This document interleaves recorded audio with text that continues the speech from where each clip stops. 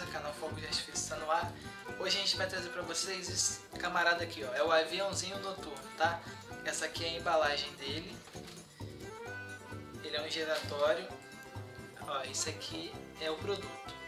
Bem, bem bonitinha a embalagem, ó.